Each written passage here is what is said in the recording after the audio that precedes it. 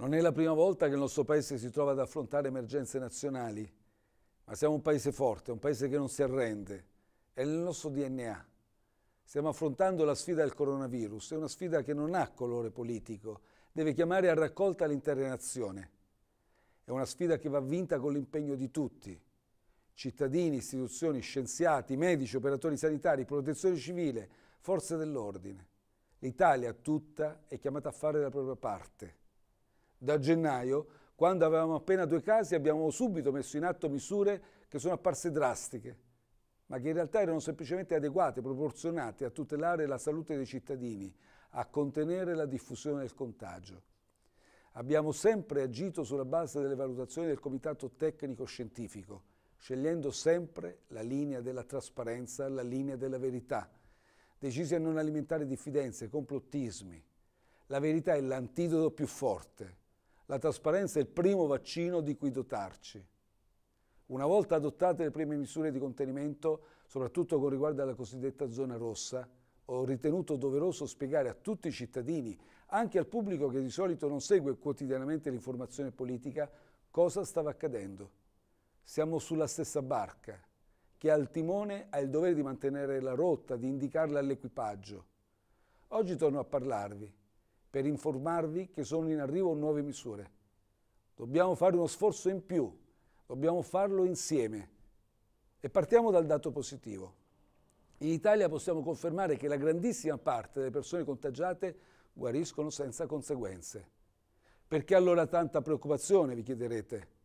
Perché una certa percentuale di persone contagiate necessita di un'assistenza continuata in terapia intensiva questo significa che finché i numeri sono bassi, il sistema sanitario nazionale può assistere efficacemente i contagiati, ma in caso di crescita esponenziale è evidente che non solo l'Italia, ma nessun paese al mondo potrebbe affrontare una simile situazione di emergenza in termini di strutture, posti letto, risorse umane richiesti. Per questa ragione il Ministro della Salute Speranza ha dato immediato mandato nei giorni scorsi di aumentare il 50% la disponibilità nazionale delle unità di terapia intensiva e del 100% delle unità di terapia subintensiva. Ma dobbiamo essere consapevoli che nonostante gli sforzi non è possibile potenziare le strutture sanitarie in breve tempo. Per cui il nostro primo obiettivo deve essere il contenimento del contagio.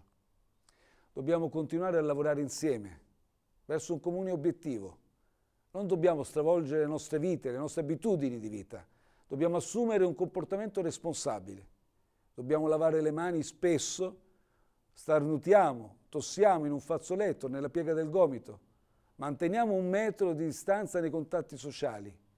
Evitiamo abbracci, strette di mano, evitiamo luoghi affollati. Da domani al 15 marzo saranno sospese le attività didattiche nelle scuole e nelle università, salvo quelle a distanza e non si svolgeranno manifestazioni sportive con la presenza del pubblico, in modo da prevenire ulteriori occasioni di contagio. Già prima dell'emergenza coronavirus avevo affermato che l'economia italiana ha bisogno di una terapia d'urto. È una situazione straordinaria che necessita di misure straordinarie. Chiederemo all'Unione Europea tutta la flessibilità di bilancio di cui ci sarà bisogno per sostenere le nostre famiglie, le nostre imprese, L'Europa dovrà venirci dietro e sostenere questo nostro sforzo. Appronteremo un piano straordinario di opere pubbliche, opere private, grandi, medie, piccole. Dobbiamo immettere nuova finanza nell'economia e realizzare le infrastrutture che servono. E per alcuni investimenti valuteremo la possibilità di applicare il modello del Ponte Morandi. Ricordate Genova? Ecco, questo modello ci insegna che quando il nostro paese viene colpito sa rialzarsi, sa fare squadra, sa tornare più forte di prima lo applicheremo ovunque sia possibile. Il modello Genova deve diventare il modello Italia e usciremo insieme da questa situazione, da questa emergenza. Sapremo superare questa difficoltà, riaffermarci in tutto il nostro valore. Quando questa emergenza sarà terminata, volgeremo lo sguardo indietro e sono convinto che saremo orgogliosi di come un intero Paese ha affrontato con coraggio, con determinazione questa emergenza, deciso a rialzare la testa donne e uomini che si sono mostrati disponibili a rinunciare a qualcosa pur di mostrare un gesto di responsabilità verso i più fragili. Grazie a tutti.